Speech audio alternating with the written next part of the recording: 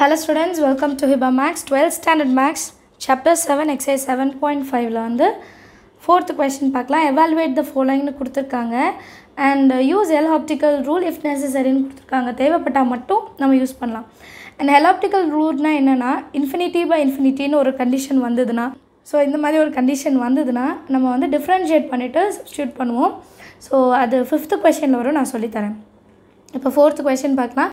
Limit x tends to pi by two secant x by tan x so secant x எப்படி எழுதலான்னா சொல்யூஷனில் limit x tends to pi minus by two சீக்கனை வந்து நான் one by காஸ்ன்னு மாற்றி எழுதலாம். அதே மாதிரி டேனை வந்து சைன் எக்ஸ் பை காஸ் எக்ஸ்ன்னு எழுதலாம். சரிங்களா?